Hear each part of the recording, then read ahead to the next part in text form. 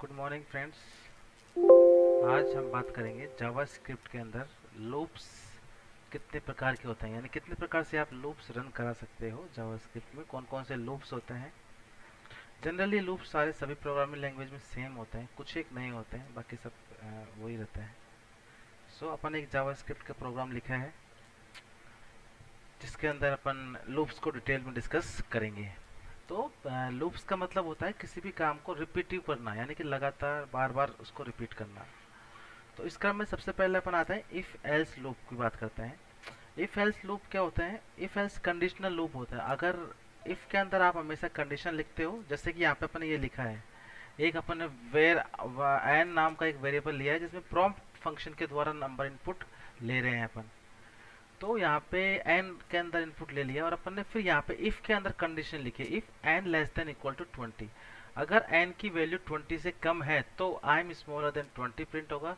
अगर ट्वेंटी नहीं है कंडीशन ट्वेंटी से मतलब फेल्स है कंडीशन फॉल्स है तो ये एल्स वाले पार्ट में जाएगा। यानी कि इफ़ के अंदर आप हमेशा कंडीशन को बताते हो।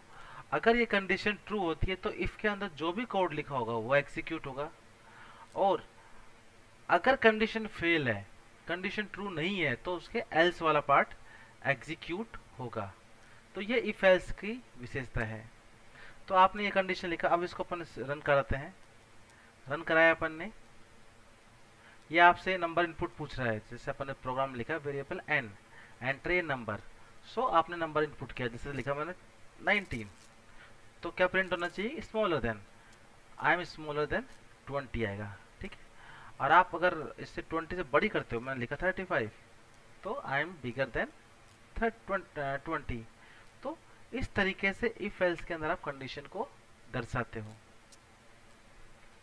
तो इफ़ के अंदर हमेशा कंडीशन लिखी रहेगी और एल्स के अंदर और जो कंडीशन ट्रू होगी तो इफ़ वाला पार्ट एग्जीक्यूट होगा अदरवाइज़ एल्स वाला पार्ट एग्जीक्यूट होगा।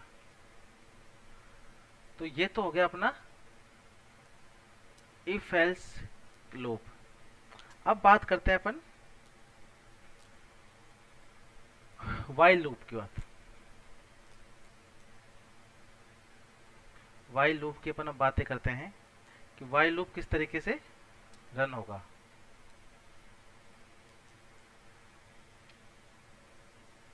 तो इसके लिए अपन यहाँ पे काम करेंगे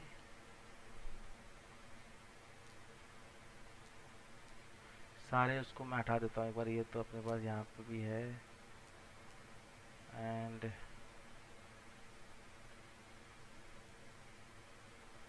ओके okay, इसको मैं अगर मैं यहाँ तक ही लिखूँगा तो? ठीक है। अब अपन ये वाला कोड को कमेंटिंग कर दिया अपन ने। अगर सिंगल लाइन कमेंट करना हो तो डबल स्लैश डबल लाइन आ जाएगा। और अगर मुझे मल्टी लाइन कमेंट्स करना है तो इस तरीके से तिरछी लाइन और स्टार और जहाँ पे ख़त्म करना है वहाँ तक का पोर्शन तो ये पूरा कमेंट है, इसको प्रोग्राम एग्जीक्यूट नहीं करेगा। अब आते हैं वाइल लूप की बात करते हैं। वाइल लूप अपने लिखा है वाइल लूप में अपने कंडीशन लिखी है कि एक वेरिएबल एन ले लिया जिसको अपन ने वन से इनिशलाइज कर दिया और अपन ने कंडीशन लिखी while n less than equal to twenty five यानी एन की वैल्यू जब तक ट्वेंटी फाइव है, जब तक document dot write l and ये कमांड एग्जीक्यूट होता रहेगा और एन की वैल्यू हर बार इंक्रीमेंट रहेगी। पहले वन फिर टू थ्री इस तरीके से। कब तक चलेगा सिलसिला? जब तक एन की वैल्यू ट्वेंटी फाइव नहीं हो जाती ओके तो रन कराते हैं अपन इसका? एक सेकेंड ये अपन ने इसको रन करा दिया एन प्लस हो गया ओके अपने पास एक्चुअली क्या है कि ये हो गया और इसको यहाँ से अपने कमेंट करना पड़ेगा। क्योंकि एक साथ दो वेरिएबल्स फ़ंक्शन हो गए ठीक है?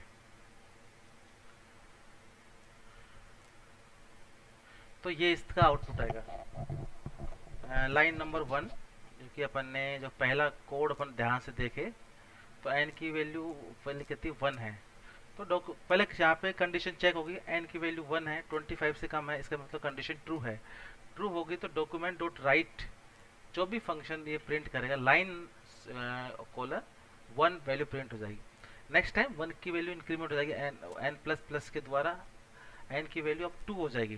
टू ट्वेंटी फाइव से कम है कंडीशन टू है और टू प्रिंट हो जाएगा। इस तरीके से चलता रहेगा। जैसे ही एन की वैल्यू ट्वेंटी फाइव प्रिंट हो जाएगी, उसके बाद ट्वेंटी सिक्स हो जाएगी। ट्वेंटी सिक्स चेक करेगा कंडीशन फेल हो जाएगी कंडीशन फेल होते ही लूप से बाहर आ जाएगा। तो 25 तक की वैल्यूज़ को ये प्रिंट कर देगा वाइल लूप के द्वारा। तो वाइल लूप के अंदर यहाँ पे कंडीशन लिखी जाती है और उसको इंक्रीमेंट किया जाता है हर बार, ठीक है? तो जैसे ही आएगा, पहले, सबसे पहले कंडीशन चेक होती है। कंडीशन ट्रू होगी तो लूप में घुसेगा अदरवाइज़ बिल्कुल नहीं घुसेगा ये। तो ये वाइल लूप हो गया अपने पास में। अब वाइल लूप के बाद अपने पास बचता है क्या? डू वाइल लूप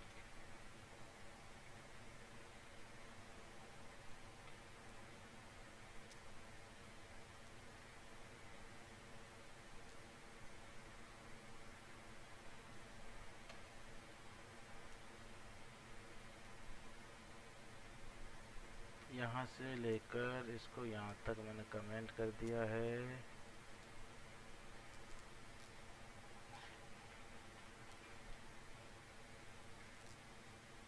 ओके इसको मैंने यहाँ से कमेंट कर दिया है और कहाँ तक चल रहा है? ये यहाँ तक चल गया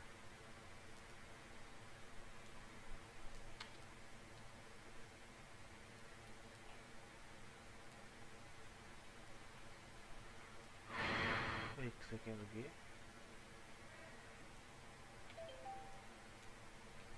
सो so, अब अपन बात करते हैं डू वाइल की। डू वाइल के अंदर थोड़ा सा डिफरेंस है। अपन ने एन बराबर वन को इनिशलाइज किया। अब यहाँ पे डू के डू का मतलब करना। यानी कि पहले ये कंडीशन सारी चेक होगी। लास्ट में एन की वैल्यू को चेक किया जाएगा। यानी कि पहले स्टेटमेंट एट लीस्ट वन बार एक बार तो एग्जीक्यूट हमेशा होगा। कंडीशन ट्रू हो या फॉल्स हो? तो डू वाई लूप की ये विशेषता है। तो एन इक्वल टू वन है तो एन की value one modulus two equal equal to one इसका मतलब एन की वैल्यू को जब आप टू से डिवाइड करोगे तो शेषफल कितना बचेगा? अगर शेषफल वन है तो एन की वैल्यू प्रिंट करेगा अदरवाइज़ वैल्यू प्रिंट नहीं करेगा। तो किसी भी संख्या का शेषफल मतलब भाग देने पर शेषफल वन आता है, इसका मतलब वो संख्या विषम है। अगर यहाँ पे मैं ज़ीरो कर दूँ तो सम संख्या प्रिंट करेगा। तो यहाँ पे अपन ने किया एन की वैल्यू वन है डू यानी कि एन मॉडुलस टू तो एन की वैल्यू वन प्रिंट हो गई।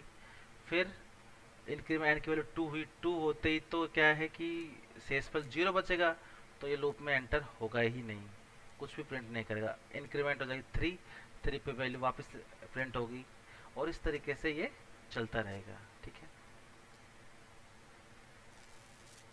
ओके एक्चुअली क्या है, यहाँ पे दूसरा जो प्रोग्राम है, वो भी अपने साथ में चल रहा है, इसलिए इसका इसको क्लोज करना पड़ेगा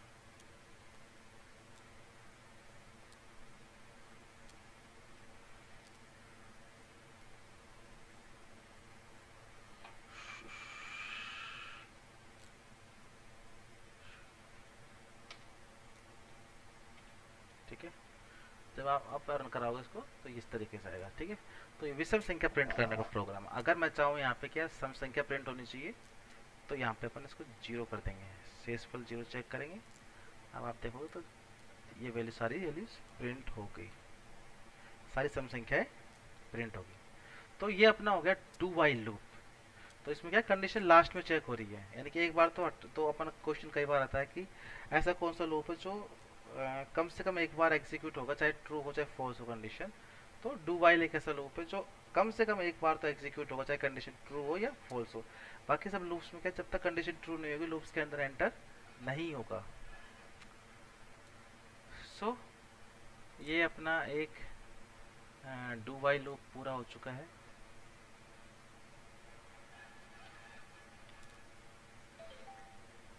अब नेक्स्ट है अपने पास में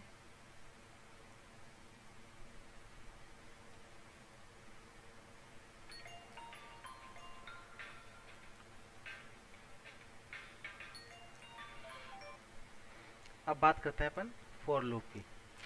फॉर लूप का जो सिंटेक्स होता है, उसमें पहले सबसे पहले वेरिएबल को इनिशलाइज करते हैं, फिर उस वैल्यू की कंडीशन को चेक किया जाता है और फिर इंक्रीमेंट ऑपरेटर किया जाता है। तीनों एक साथ ही किया जाता है इसके अंदर। तो पहला स्टेप होता है इनिशलाइजन अपन ने यहाँ पे जैसे अपन ने एक, अपन ने जो प्रोग्राम लिखा है, जो फेबोनी की सीरीज़ है, उसके लिए लिखा है अपन ने। तो अपन ने यहाँ पे दो वेरिएबल ए बराबर ज़ीरो एक वेरिएबल लिया है बी इक्वल टू वन लिया है और सी इक्वल टू ज़ीरो क्योंकि फेबोनी की सीरीज़ होती किस प्रकार से? फेबोनी की सीरीज़ होती है ज़ीरो वन फिर ज़ीरो प्लस वन का ऐड कितना होगा? One one plus one two two plus one three ठीक है? Three plus two five five plus three eight इस तरीके से सीरीज़ बढ़ती है जो अपन ने सबसे पहले यहाँ पे इक्वल टू ज़ीरो लिखा। और एक को अपन ने प्रिंट करा दिया, ठीक है? तो ज़ीरो प्रिंट हो गया। अब अपना नेक्स्ट काम है ए बराबर आई बराबर zero i less than equal to eight eight तक की अपने को फेबिनो सीरीज़ चाहिए, इसलिए सी बराबर ए प्लस बी ए कितना है? ज़ीरो बी कितना? है वन यानी कि ज़ीरो प्लस वन गया तो वन तो सी की वैल्यू पर प्रिंट कर दी, यहाँ पे वन प्रिंट हो जाएगा, बिल्कुल। और b इक्वल टू ए अब b के अंदर कौन सी वैल्यू आ चुकी है? B के अंदर a की वैल्यू कितनी थी? ज़ीरो वो आ चुकी है, ठीक है? और a के अंदर c वाली वैल्यू c में भी क्या है? A प्लस बी यानी कि वन तो अब वापस वन प्रिंट हो जाएगा यहाँ पे। यानी कि अपन को ये वैल्यूज़ को थोड़ा समझना पड़ेगा। अपन को यहाँ पे ध्यान देने वाली बात यह है कि जो बी वाली वैल्यू है, जो यहाँ पे अभी वन है, उसमें ए की वैल्यू हो जाएगी। ए की वैल्यू कितनी है? ज़ीरो ठीक है? और ए के अंदर कौन सी वैल्यू आएगी? ए के अंदर आ जाएगी सी की वैल्यू सी क्या है? ए प्लस बी का सम वो कितना आ रहा है अपना पहले से ही? वन ठीक है? तो अब दोनों वैल्यू हो गई वन और वन वन वन का जब सम करोगे आप, यहाँ पे लूप आएगा. सम आएगा तो टू आ जाएगा. फिर टू प्लस वन का थ्री आएगा एंड सो ऑन तो जब आप इसको प्रिंट कराओगे,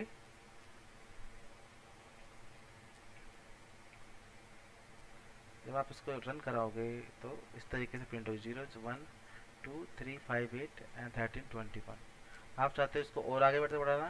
तो ट्वेंटी फाइव सपोज़ करो मैं ट्वेंटी फाइव वैल्यू उसकी चाहिए तो इस तरीके से बढ़ती जाएगी।